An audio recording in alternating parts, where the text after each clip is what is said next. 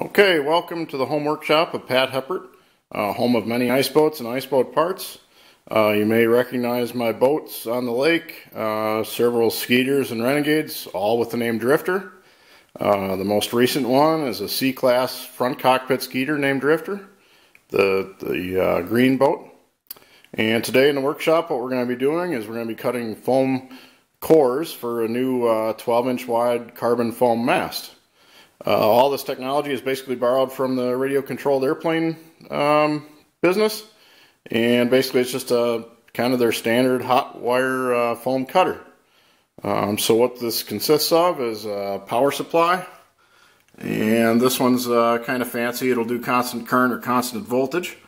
Uh, but basically it'll do up to 30 volts or 30 or 10 amps, uh, which is plenty sufficient. Uh, we'll be cutting with about 5 amps or so. Um, then you see the heart of the operation is this is this bow, and that's simply just a piece of oak, a couple tubes in the end, and across the bottom is a nichrome wire, which is our heating wire. Uh, it's 25 thousandths, just nichrome, bought from McMaster-Carr, and you can see the alligator alligator clips hooked up to the power supply. Um, to tension the bow, there's a spring on the top and nice thing about the using the spring is it'll compensate for uh, uh, as the as the wire heats up and, and expands. Uh, the spring will compensate for that, and you can very easily measure the tension. On a 25 thousandths wire, we're running about 20 to 25 pounds of tension. Um, also, you'll see that the entire bow is suspended by rubber bands with a fishing line that goes all the way to the ceiling. And the reason for the rubber bands is just so that both ends of the boat bow can kind of float independently. And then you see the bow is being pulled along uh, by this mechanism. And how this works is basically there's fishing line hooked up to the hooked up to the hot wire, and that comes across pulleys. And as the bow travels, the lever moves up and down. Um, so the advantage of this is that uh, both ends of the of the uh, bow are connected to the same spot on the lever which means that both ends of the bow move exactly the same amount. And then you'll see it's also marked, so if we're doing a tapered section, like at the top of the mast, you just set it to whatever percentage of full chord you want, and, uh, and it's good to go. Uh, here's a couple of templates. Uh, what we're building is a 12 inch foam mast. Um, so these templates are cutting out a, a 9 and 3 quarter inch foam piece. There's about 2 and a quarter on the on the trailing edge that ends up being wood. And you see a top cutting template and a bottom cutting template. And we always cut the bottom first to avoid the kerf uh, of the wire from influencing the airfoil. And then we cut the top. And the combination of the two um, results in that perfect NACA profile. Uh, you can see at the front it's just a little bit sharp right there uh, which basically we have no choice but to trim that off, uh, sand it uh, to round. Uh, there's kind of limits on what you should really do with the hot wire cutter. And then on the back you'll see a mark at one inch and that's basically the end of the foam. Uh, we just make the templates an inch longer um, just to have somewhere to go with the wire. And then you'll see the edges of the templates are uh, they're not only sanded but they're polished and that's important for the wire to run smoothly. Uh, these templates are 50 thousandths thick, maybe 40 thousandths thick aluminum. Important not to be too thick because that'll uh, actually slow the wire down because on the ends it's cooling against the aluminum. Um, so that's the templates and we'll go ahead and set it up. Okay, so now we're ready to cut. Um, you see uh, clamped in the jig is a piece of foam. This is 3 inch thick.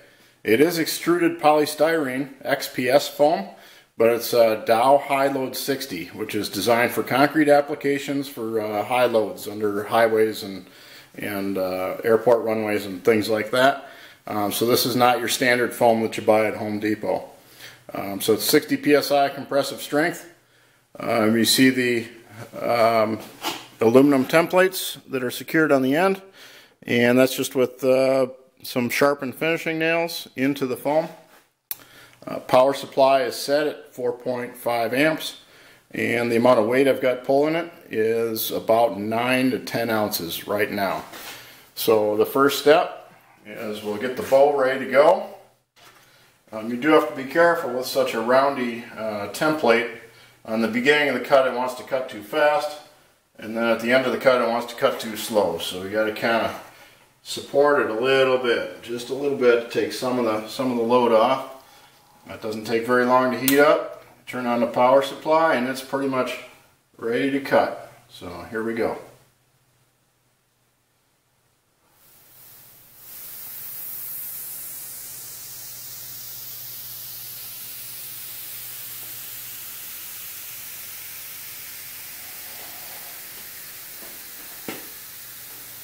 So it just follows along the template and cuts nice and smoothly and accurately.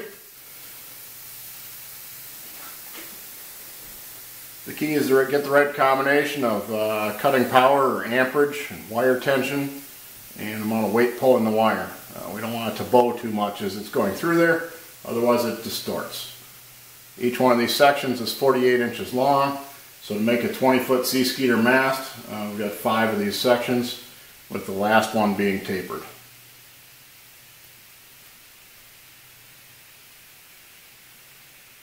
So I'm starting to add just a little bit of weight to the, to the lever to increase the pulling force right at the end.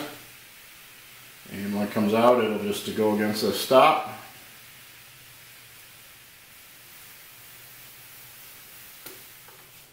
And that's it for the bottom cut. Now turn off the power supply. Uh, the wire cools in just a matter of seconds.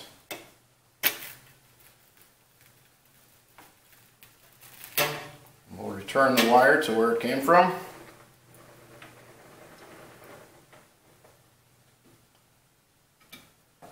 And now we'll take the templates off the bottom and put them put the top templates on. So now we've got the bottom templates uh, secured to the foam and we'll be cutting the, uh, the top surface of the wing. And this one's just the opposite of the bottom where it wants to uh, start really slowly so it needs more, uh, more cutting force at the beginning. Um, so it's just the opposite of the opposite of the bottom one. So we'll take our bow, put it on the template, and you'll notice it doesn't move on its own because it's trying to ride up that 45 degree ramp. Um, so we can go ahead and turn on the power supply. We're at 4.5 amps and we'll gently just start adding a little load to help it start the cut.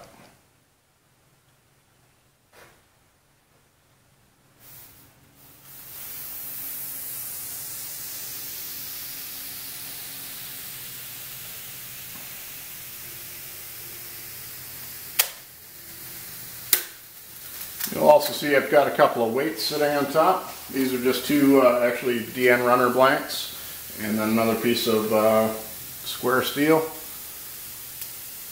Just need to hold it flat while all this is occurring.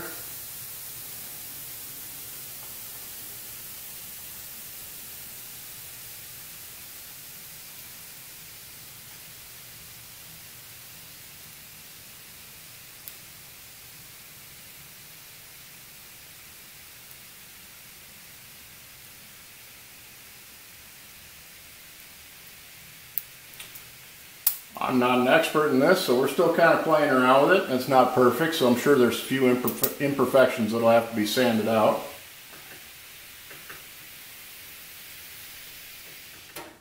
Okay, and the wire is through. Turn the power supply off.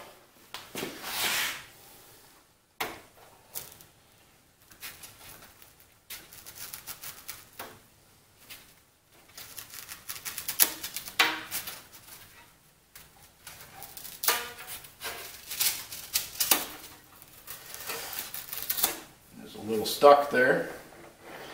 And let's see what it looks like. So we can take all of our weights off.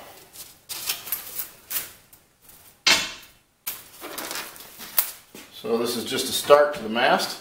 It's obviously a lot more to go. Again, the back two inches is, is made out of wood. And then it's got aluminum sail track and an aluminum uh, tube going down the right before the trailing edge for the halyard to ride up and then just a ton of carbon fiber So let's see what we did here. So the top surface looks good. Nice and smooth. Just a few little hairs to sand off. The bottom, I can guarantee we got a few lines in it.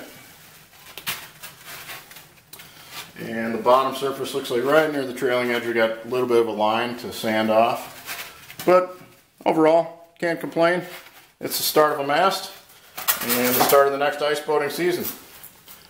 So this is uh, Pat Heppert on Belle Plaine, Minnesota, signing out for the day. And hopefully the 12 inch foam carbon mast will be on the ice this winter. Think ice.